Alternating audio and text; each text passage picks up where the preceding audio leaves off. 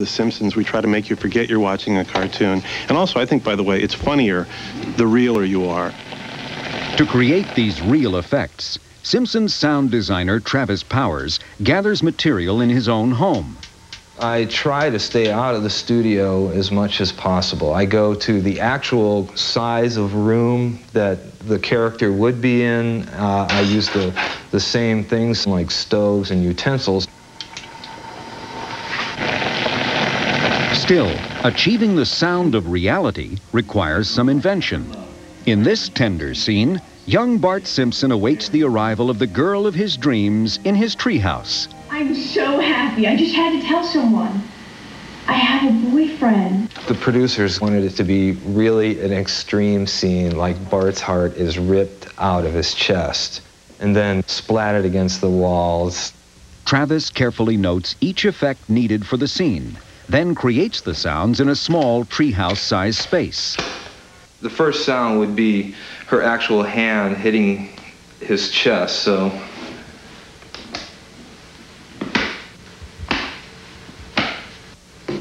For the sound of Bart's chest being ripped, Travis finds produce to be most productive. I use the watermelon for the scene because it approximates the size of a, a, chest cavity and inside is really wet and gooey.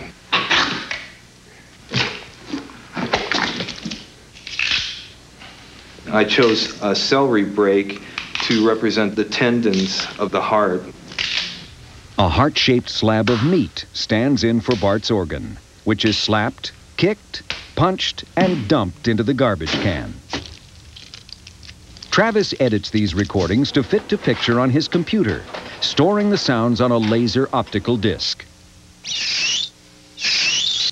The sound effects are then mixed with the dialogue and music tracks on the Sony Studios dubbing stage. Rather than sit at a computer keyboard to trigger the effects, Travis plays a guitar.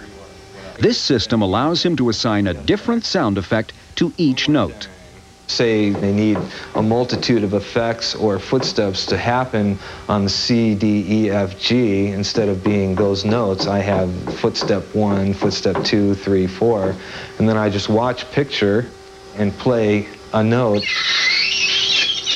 Wow, it's movie magic. the only girl I ever loved invited me up to the treehouse.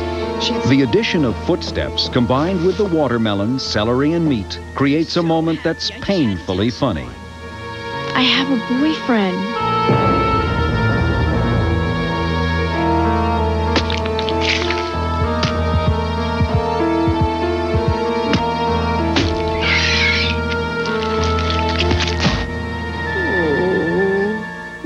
That did end in heartbreak.